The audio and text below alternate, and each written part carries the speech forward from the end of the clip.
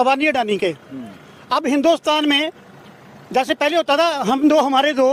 ऐसे ही अब है हम दो हमारे दो। हम दो कौन है? एक तो हो गया अच्छा दूआ होगा मोदी। और इनके दो कौन कौन है? अबानी और अडानी। इनको यही दिखता है और कुछ नहीं दिखता। लेकिन हम भी ऐसे हैं ये बोलते मेरा साढ़े सात सात साल का इतिहास है।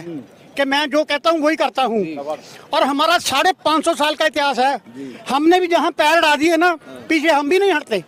बेशक हमारा खून का कतरा कतरा बह जाए। इसको हम एक बार सब सिखा देंगे बीजेपी को। पंजाब में इनका निकलना बंद कर दिया घरों से। पूरे हिंदुस्तान में यही कुछ कर देंगे। Download Moj.